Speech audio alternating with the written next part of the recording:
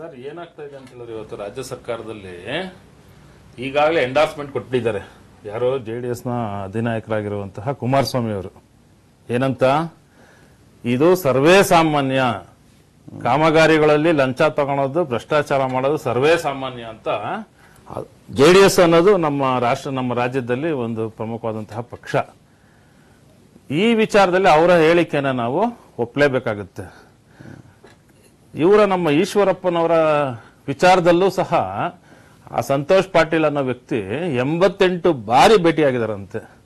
ಟಿಕ್ಕೆಸ್ಟ್ ಆಗಿ ಕ್ಲೋಸ್ ಆಗಿ ಈಶ್ವರಪ್ಪನವ್ರನ್ನ ಭೇಟಿ ಮಾಡಿದ್ದಾರೆ. ಈಶ್ವರಪ್ಪ ಅವ್ರು ಹೇಳ್ತಾ ಇದ್ದಾರೆ ಆ ವ್ಯಕ್ತಿ ಯಾರ ಹೆಸರು ಗೊತ್ತೇ ಇಲ್ಲ ಅಂತ. ಇವತ್ತು ಅವ್ರಿಗೆ ಆ ಪರೀಕ್ಷೆ ಅಂತ ಇದೆಯಲ್ಲ ಯಾವ ಸರ್ ಅದು? ನಿಮಾನ್ಸಲ್ ಪರೀಕ್ಷೆ ಮಾಡಿಸ್ತಾರಲ್ಲ. ಸುಳ್ಳು ಪರೀಕ್ಷೆ. ಸುಳ್ಳು ಮಂಪರು ಪರೀಕ್ಷೆ. ಮಂಪರು ಪರೀಕ್ಷೆ ಮಾಡಿಸ್ಬೇಕಾಗುತ್ತೆ ಅಷ್ಟೇ ಇವತ್ತು. ಇವತ್ತು ಈ ಇಶ್ಯೂ ಫಾರ್ಟಿ ಪರ್ಸೆಂಟ್ ಇಶ್ಯೂ ಅಂತಿದೆಯಲ್ಲ ಸರ್ ರಾಜ್ಯ ಗುತ್ತಿಗೆದಾರರ ಅಧಿಕೃತವಾದಂತಹ ಸಂಘ. ಸರ್ಕಾರದಿಂದ ಅದಕ್ಕೆ ಮಾನ್ಯತೆ ಇದೆ. ಆ ಸಂಘದಲ್ಲಿ ಏನೇನು ರೆಸೊಲ್ಯೂಷನ್ಸ್ ಮಾಡ್ತಾರೆ, ಅವ್ರಿಗೆ ಏನೇನು ಬೇಡಿಕೆಗಳು ಬೇಕು ಸರ್ಕಾರದೊಂದಿಗೆ ನಿರಂತರವಾದಂತಹ ಒಂದು ಅರವತ್ತು, ಎಪ್ಪತ್ತು ವರ್ಷಗಳಿಂದ ನಡ್ಕೊಂಡ್ ಬಂದಂತಹ ಒಂದು ಸಂಸ್ಥೆ. ಆ ಸಂಸ್ಥೆಯ ರಾಜ್ಯಾಧ್ಯಕ್ಷರು ಇವತ್ತು ಕೆಂಪಣ್ಣನವರು ಇದನ್ನ ಪ್ರಪ್ರಥಮ ಬಾರಿಗೆ ಒಂದು ನಾಲ್ಕೈದು ತಿಂಗಳಿಂದ ಇದನ್ನ ಪ್ರಸ್ತಾಪ ಮಾಡಿದ್ದು. ಆವಾಗ ನಿಮ್ಗೆ ಯಾವ್ದನ್ನು ನಿಮ್ಗೆ ಎಲೆಕ್ಷನ್ ಮೂಮೆಂಟ್ ಇರಲಿಲ್ಲ, ಇಲ್ಲ ರಾಜಕೀಯ ಯಾವುದು ವಾತಾವರಣಗಳಿರಲಿಲ್ಲ ಅವರು ಈ ಸರ್ಕಾರದ ಒಂದೇ ಹೇಳ್ತಾ ಇಲ್ಲ ಅವರು. ಇತ್ತೀಚಿನ ಹದಿನೈದು ವರ್ಷಗಳಿಂದ, ಹದಿನೈದು, ಇಪ್ಪತ್ತು ವರ್ಷಗಳಿಂದ ಇದು ತುಂಬಾ ಜಾಸ್ತಿ ಆಗ್ಬಿಟ್ಟಿದೆ.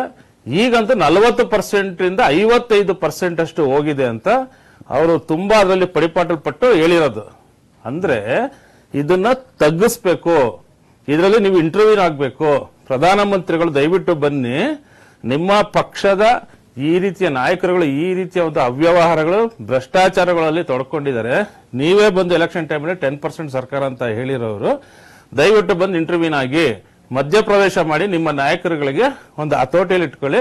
ಅವ್ರಿಗೊಂದು ಎಚ್ಚರಿಕೆ ಕೊಡ್ಲಿ ಅನ್ನೋ ಉದ್ದೇಶದಿಂದ ಹೇಳಿದ್ರೆ, ಅಲ್ಲಿ ಪ್ರಧಾನಮಂತ್ರಿಗಳು ಸಹ ಇದ್ರ ಬಗ್ಗೆ, ಯಾವ ಲವಲೇಶವೂ ಸಹ ಇದ್ರ ಬಗ್ಗೆ ತಲೆ ಕೆಡಿಸ್ಕೊಂಡಿಲ್ಲ. ಕೊನೆ ನಿನ್ನೆ ಒಂದು ಭಾನುವಾರ ಒಂದು ವಿಚಾರ ಸಂಕಿರಣ ಆಯ್ತು. ಇದೇ ಸಬ್ಜೆಕ್ಟ್ ಬಗ್ಗೆ ಒಂದು ವಿಚಾರ ಗೋಷ್ಠಿ ಆಯ್ತು. ಅಲ್ಲೂ ಸಹ ಹೇಳ್ತಾರೆ ಕಂಪೌಂಡ್ನವ್ರು ಏನ್ ಹೇಳ್ತಾ ಇದ್ದಾರೆ ನಾವಿದನ್ನ ಆರು ತಿಂಗಳಿಂದ ನಾವು ಪ್ರಸ್ತಾಪ ಮಾಡ್ತಾ ಇದ್ದೀವಿ. ಸರ್ಕಾರ ನಮ್ಮ ಬಗ್ಗೆ ಯಾವುದು ಚಕಾರ ಎತ್ತಲಿಲ್ಲ. ಕೇಂದ್ರ ಇರ್ಬೋದು ರಾಜ್ಯ ಇರಬಹುದು ಏನೇನ ಕಮ್ಮಿ ಆಗುತ್ತೇನೋ ಪರ್ಸೆಂಟೇಜ್ ಅಂತ ಹೇಳಿದ್ರೆ ಅದರಲ್ಲೂ ಸಹ ಕಮ್ಮಿ ಆಗಿಲ್ಲ ಅಂತ ಅವ್ರು ಸ್ಪಷ್ಟವಾಗಿ ಹೇಳಿದ್ದಾರೆ. ಓಕೆ ಆ ವಿಚಾರ ಸಂಕಿರಣದಲ್ಲಿ ಸ್ಪಷ್ಟವಾಗಿ ಹೇಳಿದ್ದಾರೆ. ವಿಜಯ್ ಕುಮಾರ್ ಅವರು ಅನ್ಸುತ್ತೆ. ಯಾಕಂದ್ರೆ ಈ ಹೇಗೆ ಹೇಗೆ ನಡೆಯುತ್ತೆ ಅನ್ನೋದನ್ನ ಹತ್ತದಿಂದ ಅಲ್ಲ, ನೋಡ್ರಿ ಏನಾದ್ರು ಮುಗಿಸ್ಬಿಡ್ತೀನಿ ನಾನು. ಇವತ್ತು ಸರ್ಕಾರ ರಚನೆ ಆಗಿರೋದು ಅನೈತಿಕ ಮಾರ್ಗದಲ್ಲಿ ರಚನೆ ಆಗಿರೋದು. ಇಡೀ ರಾಷ್ಟ್ರಕ್ಕೆ ಗೊತ್ತು. ಆಪರೇಷನ್ ಕಮಲದಿಂದ ಹದಿನೇಳು ಜನ ವಿಧಾನಸೌಧದಲ್ಲಿ ಓಡೋಗಿ ಇದಕ್ಕೆಲ್ಲ ಸಾವಿರಾರು ಕೋಟಿ ಖರ್ಚಾಯ್ತು ಅಂತ ಮಾಧ್ಯಮಗಳಲ್ಲಿ ಪುಂಖಾನುಪುಂಖವಾಗಿ ಬಂತು. ಅವ್ರನ್ನ ಸೇರಿಸ್ಕೊಂಡು ಸರ್ಕಾರ ರಚನೆ ಮಾಡಿರುವಂತ ಸರ್ಕಾರದಲ್ಲಿ ಇನ್ನೇ ನಾವು ನಿರೀಕ್ಷೆ ಮಾಡಕ್ಕಾಗುತ್ತೆ. ಇದು forty percent fifty five percent ತನಕ ಇವರು ತಗೊಳೋದು ಹಂಡ್ರೆಡ್ ಪರ್ಸೆಂಟ್ ಸತ್ಯ. ಆಮೇಲೆ ಕೆಂಪಣ್ಣವರು ಹೇಳಿದ್ದಾರೆ, ಒಂದು ಚಾಲೆಂಜ್ ಹಾಕಿದ್ದಾರೆ ಸರ್ಕಾರಕ್ಕೆ. K R I D C L ಅಲ್ಲಿ ಇಪ್ಪತ್ಮೂರು ಸಾವಿರ ಕೋಟಿ ಕೆಲಸ ಮಾಡಿದ್ದಾರೆ. ಇಪ್ಪತ್ತು ಪರ್ಸೆಂಟ್ಗಿನ್ನ ಇಪ್ಪತ್ತು ಪರ್ಸೆಂಟ್ಗಿನ್ನ ಇದು ಕೆಲಸ ಜಾಸ್ತಿ ಆಗಿದ್ರೆ ಸರ್ಕಾರ ಬಂದು ತೋರಿಸ್ಲಿ, ರಾಜ್ಯ ಜನತೆ ಚಾಲೆಂಜ್ ಹಾಕಿದ್ದಾರೆ. ಸರ್ಕಾರ ಇದ್ರ ಬಗ್ಗೆ ಯಾವುದು ಉತ್ತರನೂ ಕೊಡ್ತಾ ಇಲ್ಲ, ಇದ್ರ ಬಗ್ಗೆ ಪ್ರತಿಕ್ರಿಯೆಯನ್ನು ತೋರಿಸ್ತಾ ಇಲ್ಲ. ಇಲ್ಲ ಅಂತ ಹೇಳಿದ್ರೆ ಆ ಗುತ್ತಿಗೆದಾರ ಸಂಘದ ಅಧ್ಯಕ್ಷ ಮೇಲೆ ಮಾನನಷ್ಟ ಮೊಕದ್ದಮೆನ ಹಾಕ್ಬೇಕಾಗುತ್ತೆ. ಯಾವುದು ಮಾಡಿಲ್ಲ ಅಂತ ಹೇಳಿದ್ರೆ ಕಳ್ಳನಿಗೆ ನೀನು ಕಳ್ಳ ಅಂತ ಹೇಳಿದಾಗ ಅವನೇನ್ ಮಾಡಕ್ಕಾಗುತ್ತೆ? ಸರಿ ಆಯ್ತು ಅಂತ ಸುಮ್ನೆ ತಲೆ ಬಗ್ಗಿಸ್ಕೊಂಡು ಸುಮ್ನೆ ಇರುವಂತಹ ಒಂದು ಕೆಟ್ಟ ಪರಿಸ್ಥಿತಿ ಸರ್ಕಾರದಾಗಿದೆ ಇವತ್ತು. ಮೇಲ್ನೋಟಕ್ಕೆ ಗೊತ್- ಗೊತ್ತಾಗುತ್ತೆ. ಸಂತೋಷ್ ಪಾಟೀಲ್ ಏನು ಹುಚ್ಚ ಅಲ್ಲ. ಯಾರೋ ಮಾತು ಕೇಳ್ಕೊಂಡ್ಬಿಟ್ಟು ನಾಲ್ಕು ಕೋಟಿ ರೂಪಾಯಿ ಕೆಲಸ ಮಾಡಿ ರಸ್ತೆಗಳು ಮಾಡಕ್ಕೆ. ಅವ್ರಿಗೆ ಸ್ಪಷ್ಟವಾಗಿ ಮಂತ್ರಿಗಳ ಕಡೆಯಿಂದ ಅವ್ರಿಗೆ ಆಪ್ತ ಸಂಬಂಧ ಇದೆ. ಎಂಬತ್ತೆಂಟು ಬಾರಿ ನಾನು ಭೇಟಿ ಮಾಡಿದ್ದೀನಿ ಅಂತ ವ್ಯಕ್ತಿ ಹೇಳ್ತಾ ಇದ್ದಾನೆ. ಎಂಬತ್ತೆಂಟು ಬಾರಿ ಒಬ್ಬ ಮಂತ್ರಿನ ಭೇಟಿ ಮಾಡೋಷ್ಟು ಸಲಿಗೆ ಆ ವ್ಯಕ್ತಿಗಿದೆ. ಐಪನ್ ಸ್ಟೇಟ್ಮೆಂಟ್ ಅಲ್ಲಿ ನೋಡಿದ್ರೆ ಗೊತ್ತಾಗುತ್ತೆ. ಅದನ್ನೆಲ್ಲ ಸಿ ಸಿ ಕ್ಯಾಮ್ರಾಗಳೆಲ್ಲ ತೆಗೆಸ್ ನೋಡ್ಲಿ. ಇವತ್ತು ಯಾರು ಹುಚ್ಚರಲ್ಲ. ನಾಲ್ಕು ಕೋಟಿ ರೂಪಾಯಿ ಕೆಲಸ ಎತ್ಕೊಂಡು ರೋಡಲ್ಲಿ ಕೆಲಸ ಮಾಡಕ್ಕೆ. ಇದು ಸರ್ವೇ ಸಾಮಾನ್ಯವಾಗಿ ಇವತ್ತು ರಾಜ್ಯದಲ್ಲಿ, ಅದರಲ್ಲೂ ಬಿ ಬಿ ಎಂ ಪಿಲಿ ನಮ್ಮ ಬೆಂಗಳೂರಿನಲ್ಲಿ, ಹಳ್ಳಿಗಳ ಕಡೆ ಏನೋ ಅರ್ಜೆಂಟ್ ಆಗಿ ಗ್ರಾಮಸ್ಥರು ಬಂದು ಕೇಳ್ತಾರೆ. ದೇವಸ್ಥಾನದ ಕಾಮಗಾರಿ ಶಾಲೆಗಳದು ಬ- ಕಟ್ಟಡ ಬಿದೋಗ್ತಾ ಐತೆ ಇದೊಂದು ಕಾಂಪೌಂಡ್ ಕಟ್ಕೊಡಿ. ಈ ಕುಗ್ರಾಮ ಇದೆ, ರಸ್ತೆಗಳು ಹಾಕೊಡಿ ಇದೆಲ್ಲ ನಿಮ್ಗೆ ಟೆಂಡರ್ ಪ್ರೊಸೆಸ್ ಮಾಡಿ, ಅವೆಲ್ಲ ಈ ಪ್ರೊಕ್ಯೂರ್ಮೆಂಟ್ಗಳು ಅವು ಇವೆಲ್ಲ ಮಾಡಕ್ಕೆ ಸಮಯಾವಕಾಶ ಆಗುತ್ತೆ ಅಂತ ಅವ್ರ ಸುತ್ತಮುತ್ತ ಹಿಂಬಾಲಕರ ಕಾಂಟ್ರಾಕ್ಟರ್ಗಳು ಇರ್ತಾರೆ ಪ್ರತಿಯೊಬ್ಬ ಎಂ ಎಲ್ ಎಗಳ ಜೊತೆನ ಕನಿಷ್ಠ ಪಕ್ಷ ಹತ್ತು ಜನ ಇಪ್ಪತ್ತು ಇಪ್ಪತ್ತು ಜನ ಕಾಂಟ್ರಾಕ್ಟರ್ಗಳನ್ನ ಸಾಕೊಂಡಿರ್ತಾರೆ. ಆ ತರ ವ್ಯಕ್ತಿಗಳಿಗೆ ಹೇಳ್ತಾರೆ, ಇದು ಮಾಡ್ಬಿಡ ನಾನು ಆಮೇಲೆ ಮಾಡ್ಕೊಡ್ತೀನಿ ಅಂತ ಹೇಳ್ತಾರೆ. ಆ ರೀತಿ ಆದಂತಹ ಒಂದು ಕೆಲಸ ಇದು. ಇವರು ಆ ಕೆಲಸ ಮಾಡಿಸ್ಕೊಂಡ್ಬಿಟ್ಟು ದುಡ್ಡು ಕೊಟ್ಬಿಟ್ಟಿದ್ರೆ ಯಾವ್ದು ಪ್ರಾಬ್ಲಮ್ ಆಗ್ತಾ ಇರ್ಲಿಲ್ಲ.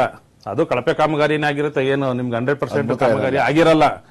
ಅದನ್ನು ಕೊಡ್ದಿರ ಅದರಲ್ಲೂ ಏನನ್ನ ದುರಾಸೆಯಿಂದ ಒಂದಷ್ಟು ನಲ್ವತ್ ಪರ್ಸೆಂಟ್ ಕೊಡಿ ಅಂತ ಅವ್ರ ಹಿಂಬಾಲಕರು ಕೇಳ್ತಾ ಇದಾರೆ ಅನ್ನೋದು ಮೇಲ್ನೋಟಕ್ಕೆ ಸ್ಪಷ್ಟವಾಗಿ ಗೊತ್ತಾಗುತ್ತೆ.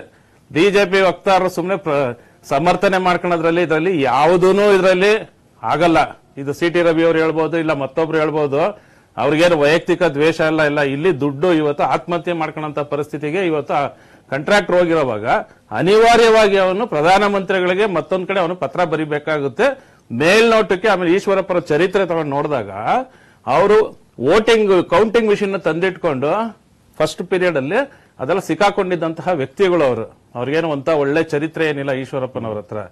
ಇದೆಲ್ಲ ಸಂಪೂರ್ಣವಾಗಿ ಈಶ್ವರಪ್ಪನವರು ನಿಮ್ಗೆ ಆರ್ ಡಿ ಪಿ ಮಾಡ್ತಾ ಇರುವಂತಹ ಒಂದು ಅವ್ಯವಹಾರಗಳಲ್ಲಿ ಸಣ್ಣದೊಂದು ಉದಾಹರಣೆ ಅಷ್ಟೇ. ಈಗ ಟೆಂಡರ್ ತಗೊಳ್ಳೋರಾಗಿದ್ರೆ ಸರ್ ಅವರಿಂದಲೇ ಆಯ್ತು ಸರ್ ಅವ್ರದ್ದು ತಪ್ಪಿದೆ. ಅವ್ರದ್ದು ತಪ್ಪಾಗಿದೆ. ಓಕೆನಾ? ಅವ್ರದ್ದು ತಪ್ಪು ಸಮೇತನೇ ಇದನ್ನ ಈ ಸಂಪೂರ್ಣವಾಗಿ ಭ್ರಷ್ಟಾಚಾರ ಏನ್ ಫಾರ್ಟಿ ಪರ್ಸೆಂಟ್ನ ಇದು ಸಂದರ್ಭ ಕರೆಕ್ಟ್ ಆಗಿದ್ದಲ್ಲ ಸ್ವತಂತ್ರ ಆಯೋಗ ರಚನೆ ಮಾಡಿ ಸಂಪೂರ್ಣವಾಗಿ ತೊಲಗಿಸ್ಬೋದಲ್ಲ ಇದನ್ನ? ಸ್ವತಂತ್ರ ಆಯೋಗ ರಚನೆ ಮಾಡಿಲ್ಲ ಇವ್ರು ಇನ್ನೂ. ಯಾಕೆ ಮಾಡ್ತಾ ಇಲ್ಲ? ಈಗೇನೋ ಆಯ್ತು ಈಗ ಲೋಕಾಯುಕ್ತ ಸರ್ ಈಗ ಸರ್ ಇವಾಗ ಲಂಚ. ಕೊಡೋದು ನಾನು ಎಲ್ಲ ಫೈವ್ ಸ್ಟಾರ್ ಹೋಟ್ಲಲ್ಲಿ ಕೊಡ್ತೀನಿ ಎಲ್ಲೋ ಗೆಸ್ಟ್ ಹೌಸ್ ಅಲ್ಲಿ ಕೊಡ್ತೀನಿ ಇಲ್ಲ ಅವ್ರ ಹೆಂಡತಿ ಮನೆಗೆ ಎತ್ಕೊಂಡ ಕೊಡ್ತೀನಿ ಯಾರೋ ಕಿಚನ್ ಅಲ್ಲಿ ಕೊಡ್ತೀನಿ ಯಾರೋ ಒಬ್ಬ ಕಲೆಕ್ಟ್ ಮಾಡ್ಕೊಂಡು ಅದನ್ನೆಲ್ಲ ಮಾಹಿತಿ ಕೊಡ್ತಾರೆ ಸರ್. ಇದನ್ನ ತನಿಖೆ ಮಾಡೋದು ಯಾರು? ಉನ್ನತವಾದಂತಹ ಸ್ವತಂತ್ರ ಆಯೋಗಗಳು ಸಿಬಿಐ ಅಂತ ತನಿಖೆ ತನಿಖೆಗಳು ಮಾಡಬೇಕು. ಸಿಬಿಐ ಆಗ್ಬೇಕಾ? ಸಿಬಿಐ ಆಗ್ಬೇಕಾ? ಬೇಕಷ್ಟಿವೆಯಲ್ಲ ಸರ್ ಪೊಲೀಸ್ ಆಫೀಸರ್ಸ್ಗಳು ಪ್ರಾಮಾಣಿಕ ಪೊಲೀಸ್ ಆಫೀಸರ್ಸ್ಗಳನ್ನ ಹಾಕೊಂಡು ಒಬ್ಬ ನ್ಯಾಯಾಧೀಶರ ನೇತೃತ್ವದಲ್ಲಿ ಅದನ್ನ ಸ್ವತಂತ್ರ ಆಯೋಗ ತನಿಖೆ ಮಾಡಿ ಇವತ್ತು ನೋಡಿ ಉದಾಹರಣೆಗೆ ಕೆಂಪಣ್ಣನವ್ರು ಹೇಳ್ತಾರೆ ನಾನು ಒಂದು ಗೆಸ್ಟ್ ಹೌಸ್ ಅಲ್ಲಿ ಬಿಜಾಪುರದ ಗೆಸ್ಟ್ ಹೌಸ್ ಅಲ್ಲಿ ಇಂತ ಮಿನಿಸ್ಟರ್ಗೆ ಇಷ್ಟು ಕೋಟಿ ಕೊಟ್ಟೆ ಅಂತ ಸಂಪೂರ್ಣ ನಿಮ್ಗೆ ಹೇಳ್ಕೊಂಡ್ ಅವ್ರನ್ನ ಮಾಡಿ. ಅವ್ರು ಹೇಳ್ತಾ ಇದಾರಲ್ಲ ಸ್ವತಃ ಹೇಳದ್ಮೇಲೆ ನಮ್ಮ ಬಲಿಯಾದ್ರೂ ಪರವಾಗಿಲ್ಲ ಈ ರಾಜ್ಯದಲ್ಲಿ ಈ ಅನಿಷ್ಟ ಪದ್ಧತಿ ತೊಲಗಬೇಕು ಅಂತ ಅವ್ರು ಮುಂದೆ ಬಂದಿದ್ದಾರೆ.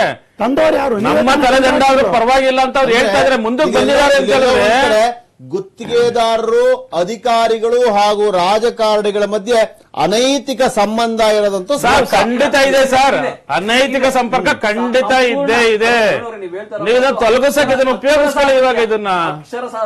ಕಾಂಗ್ರೆಸ್ ಹೈಲೈಟ್ ಮಾಡ್ಕೊಂಡು ಸಿದ್ದರಾಮಯ್ಯನವರ ಅವಧಿಯಲ್ಲಿ ಎಷ್ಟೆಷ್ಟೇ ಏನೇನು ಅನಾಚಾರಗಳು ಅಕ್ರಮಗಳು ಆಯ್ತಲ್ಲ ಅದೆಲ್ಲ ಆಗ್ಬೇಕಾಗುತ್ತೆ. ಸರ್ಕಾರ ಬಂದಿದೆ.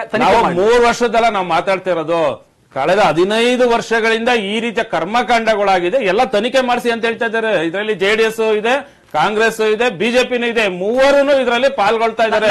ಆದಿ ಬೀದಿ ಅನ್ನೋ ಪದನ ದಯವಿಟ್ಟು ಉಪಯೋಗಿಸ್ಬೇಡಿ. ಎಂಬತ್ತು ವರ್ಷದ ವೃದ್ಧರವರು ಅವರು ಒಂದು ಅರವತ್ತು ವರ್ಷ ಸರ್ವಿಸ್ ಮಾಡಿದ್ದಾರೆ ಕಾಂಟ್ರಾಕ್ಟ್ ಫೀಲ್ಡ್ ಅಲ್ಲಿ ಅವ್ರದೇ ಆದಂತ ಒಂದಷ್ಟು ಕೊಡುಗೆಗಳು ರಾಜ್ಯ ಸರ್ಕಾರ ಕೊಟ್ಟಿದ್ದಾರೆ. ಅಣೆಕಟ್ಟುಗಳು ಕಟ್ಟಿದ್ದಾರೆ ರಸ್ತೆಗಳು ನಿರ್ವಹಣೆ ಮಾಡಿದ್ದಾರೆ. ಸಾಕಷ್ಟು ಅಭಿವೃದ್ಧಿ ಕೆಲಸಗಳು ಮಾಡಿದ್ದಾರೆ. ಎಂಬತ್ನಾಲ್ಕು ವರ್ಷದ ವೃದ್ಧರು. ಅವ್ರಿಗೆ ಏನ್ ಆಗ್ಬೇಕಾಗಿದೆ ಅವ್ರಿಗೆ? ಎದ್ದೇಳಿ ಕನ್ನಡಿಗರ ನಾಳೆ ನಮ್ಮದಾಗಲಿ.